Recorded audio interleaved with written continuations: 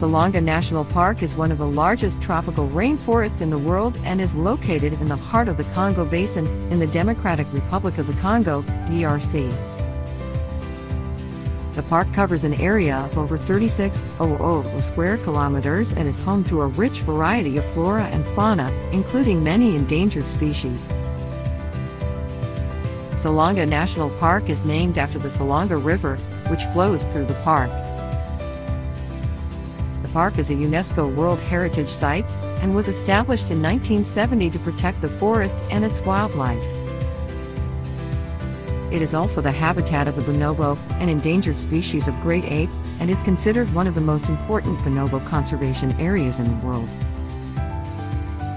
The park is home to many other animals, including forest elephants, leopards, okapis, and several species of primates. There are over 100 species of fish in the rivers and lakes within the park.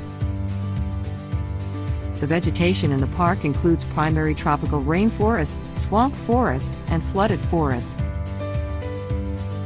One of the main threats to the park is poaching, as the animals within the park are often hunted for their meat or for their parts, which are used in traditional medicines.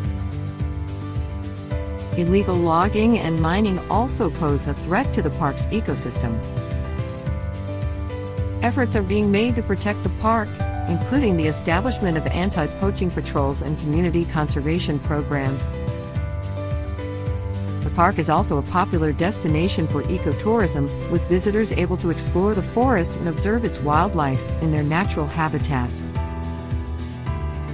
Salonga National Park is a unique and valuable resource, not just for the DRC but for the world as a whole.